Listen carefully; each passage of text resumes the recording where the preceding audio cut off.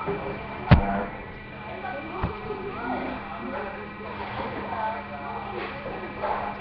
went to the seashore today looking for seals. Guess what? I couldn't find any seals. I hope that doesn't mean Fukushima, if you know what I mean.